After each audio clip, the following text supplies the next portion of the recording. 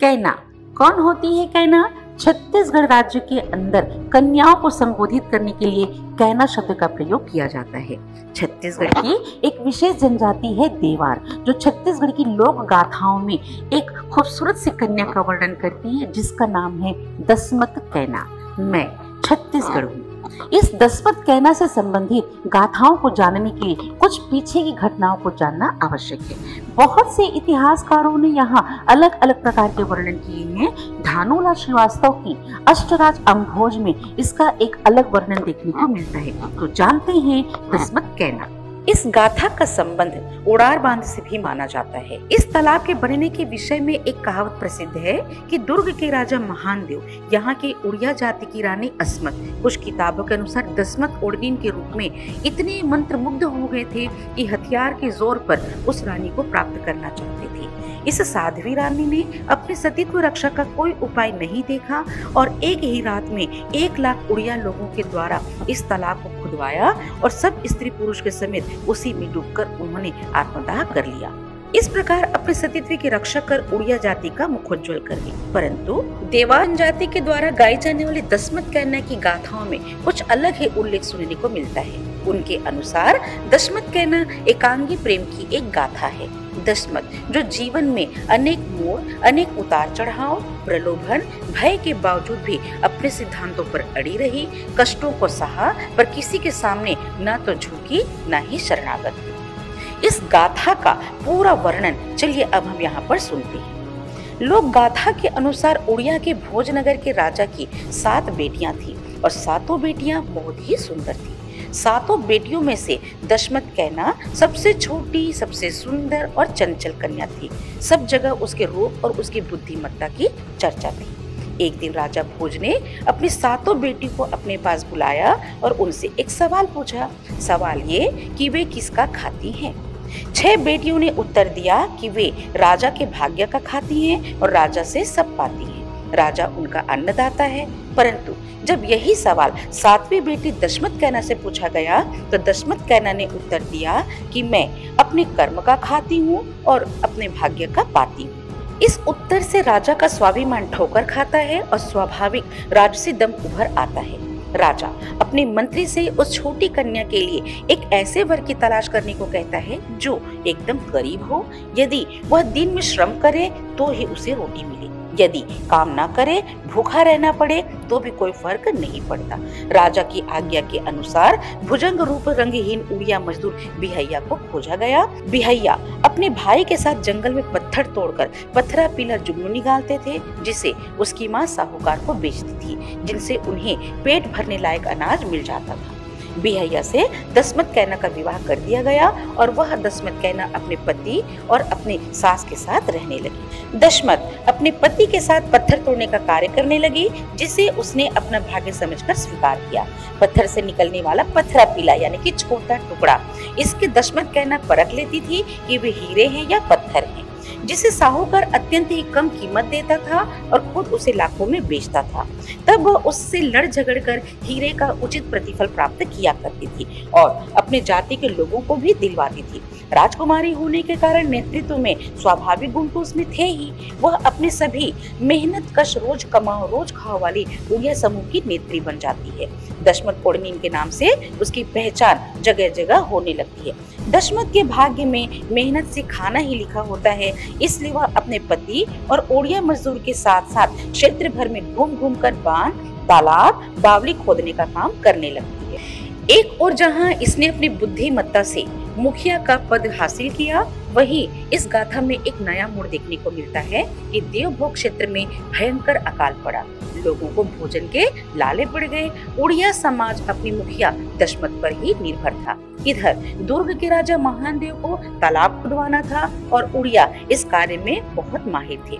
बड़ी संख्या में वे दुर्ग क्षेत्र में आए, तालाब बाँध बनाने का काम शुरू किया। कथा के अनुसार उस समय महान देव के बयालीस गाँव थे। इससे स्पष्ट होता है कि वह कोई बड़ा राजा नहीं था। इसी क्रम में दशमत ओडनीन धौरा नगर के राजा महानदेव के पास जो हारने के बहाने, यानी कि काम के लिए 120 स्त्री और 120 पुरुषों के साथ में काम मांगने जाती है। राजकुल में उत्पन्न दशमत अपने पारंपरिक छत्तीसगढ़िया श्रृंगार में जब राजा महानदेव के सामने प्रस्तुत होती है, तब राजा उसके सौंदर्य पर मोहित हो जाता है। महल में फुदकने वाली गौरैया राजा को चेतावनी देती है कि इस पर आशक्त मत होना। पर राजा दशमत को स्वर्ण का आसन देता है और उसका परिचय पूछता है। दशमत बतलाती है कि भोजनगर उसका मायका है और ओडार बाँध उसका ससुराल। वह बावली खोदने का काम करती है और इस तरह वे रिश्ते में उसके चाचा होते हैं। दशमत के रूप यौवन पर मोहित राजा अपने गरीब मजदूर पति को छोड़कर उसे पटरानी बनने का प्रस्ताव देता है। उससे विनय करने लगता है। दशमत विचलित हुए बिना राजा के अनुरोध को ठुकरा देती है और ओरार बाँध के कार्य में लग जाती है। नौ लाख ओडिया और 9 लाख ओडिनीन झौहा में मिट्टी को ढोने का काम कर रही हैं, जिसमें अपनी सुंदरता के कारण दशमत कहना अलग ही पहचान बना रही है परंतु फिर भी वह मिट्टी धोने में तन्मयता से लगी रहती है। राजा महानदेव दशमत के प्रेम में उड़ार बाँध आ जाता है और बाँध के किनारे तंबू तान कर बैठ जाता है और दशमत के रूप यौवन के आँखों से रस लेने लगता है और एक मधुर वर्णन उसके समक्ष प्रस्तुत करता है। जब वह उसे उसके चाचा होने के रिश्ते का एहसास दिलाती है, परंतु फिर भी वह मानता नहीं है। इसके बावजूद राजा महान देव काम कर रही दसमत को कंकड़ मारकर उसका ध्यान अपनी ओर आकर्षित करने की कोशिश करता है। एक कपत्थर के बाद में दूसरा ढेला मारता है। दसमत सहन नहीं करती और गुस्से से कहती है, तीसरे ढेलवा तन पर लागे, मारा कुदारी के घाव। वह कहती है, यदि तुमने तीसरा ढेला मारा तो मैं सहन नहीं करूँगी, तुम पर कुदारी से घाव दूँगी। इसके बाद भी वह दसमत के प्रेम में इतना आशक्त हो जाता है कि उसके समक्ष विवाह का प्रस्ताव रखता है। इसकी हरकत से परेशान दशमत शर्त रखती है कि यदि तुम भी हमारी तरह मेहनत का काम करोगे, तब सोचेंगे। प्रेम में आशक्त राजा, सिर में झुहा लिए लुद्रुस लुद्रुस मिट्टी को ढोता है। पसीने से लथपथ राजा अपने राजसी वैभव प्राप्त शरीर से थक कर चूर हो जाता है। दशमत की सहेलियाँ उससे मज़ाक करती हैं। दशमत भी कहती, देखो रे, तुम्हारे जीजा कैसे मिट्टी ढो रहे हैं? हँसी ठिठोली के बावजूद भी वह राजा कार्य नहीं कर पाता। वह दशमत से कोई दूसरा निम्न स्तरीय कार्य कराने के लिए कहने लगता है और श्रम वाला कार्य करने से मना कर देता है। यहाँ से घटनाक्रम आगे की ओर बढ़ती है। यह घटनाक्रम एक राजकीय प्रभुता को इनकार करना ही नहीं था, वरन एक संघर्ष की ललकार। कामुक प्रवृत्ति के लोगों के लिए यह बहुत बड़ा सबक था। ऐश्वर्यशाली राजा की दीनता पर मज़ा लेते हुए निम्न स्तर का जीवन यापन करने वाले उड़िया लोग कहते हैं, यदि हमारी जाति की स्त्री को पाना है तो हमारी तरह मांस खाना होगा और दारू पीना होगा। राजा ब्राह्मण है, फिर भी दशमत को पाने के लिए उनकी सारी शर्तों को मानने को तैयार हो जाता है। ओडिया डेरे में राजा को गर्मा गर्म मांस भात खाने के साथ शराब का पान करने के लिए कहा जाता है। जब राजा नशे में चोर हो जाता है तो बावरों से हरकत करते हुए नाचने लगता है और थक कर बेहोश हो जाता है। उसकी बेहोशी का फ़ायदा उठाकर ओडिया उसे खाट में बाँध देते हैं और उसकी चुटिया को एक चबरी गधी की पूछ से बांधकर गधी को वहाँ से भगा देती है। राजा का शरीर घसीटते हुए खार खार जंगल जंगल भटकने लगता है। राजा मदद के लिए पुकारता है। राजा के बेटे मदद के लिए महल से निकलते हैं, परंतु उनकी रानियाँ अपने बेटों को रोक देती हैं। कहती है, जिस पिता ने एक विवाहित श्रमिक स्त्री के कारण तुम्हारी माँ का त्याग किया, ऐसे पिता की सहायता मत करो। बेटे, वही रुक जाते हैं। राजा के इस दुख को सुनकर उड़िया मज़ा लेने लगते हैं, परंतु राजा का एक मुँह लगा नाई यह सब देख नहीं पाता और उस तरह से गदही की पूछ को काटकर राजा को बचा लेता है। राजा जब अपने महल आता है, क्रोध से, प्रेम से पागल होकर कुछ दिन अपनी चतुरंगिनी सेना को लेकर उड़ार बाँध की ओर कुछ कर जाता है। राजा के सैनिक चुन चुन कर ओडियाओं को मारने लगते नौ लाख ओडिया और राजा सैनिक के बीच युद्ध होता है और सभी ओडिया मारे जाते हैं। इसी में दशमत का पति बिहैया भी राजा के द्वारा गोली चलवाने पर मारा जाता है। उसके अंतिम संस्कार के समय जब चीता पर लेटे बिहैया को पाँच लकड़ी देने के बहाने दसमत चीता के पास जाती है तो चीता में खुद भी कूद जाती है और जलने लगती है। कोई कहता है कि उसने बाँध में कूदकर अपनी जान दी थी।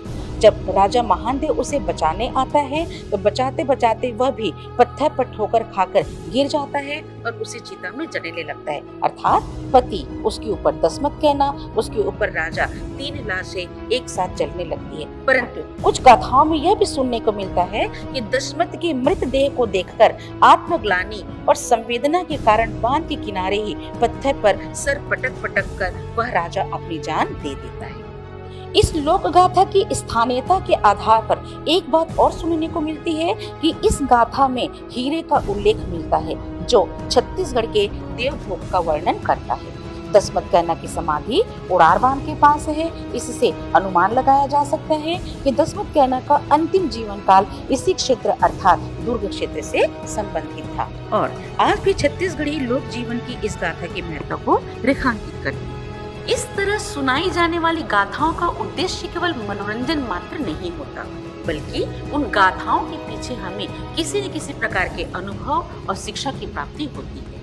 छत्तीसगढ़ अंचल, जहाँ गाथाओं की प्रचुरता है, जिसमें न केवल अपने क्षेत्र विशेष की, बल्कि बाहरी क्षेत्र की गाथाएँ भी सुनने को मिलती है। यहाँ न केवल प्रेम प्रधान गाथाएँ हैं, बल्कि कुछ धार्मिक, पौराणिक गाथाएँ हैं, कुछ वीरता से संबंधित गाथाएँ हैं। मैं छत्तीसगढ़ हूँ। इस श्रृंखला में एक नई गाथा के साथ में मैं पुनः आप सभी के समक्ष उपस्थित हो जाऊँगी। तब तक के लिए मेरे सभी बच्चों को ढेर सारी शुभकामनाएँ, ढेर सारा प्यार, हमेशा की तरह thank you love you God bless you to all my बच्चा।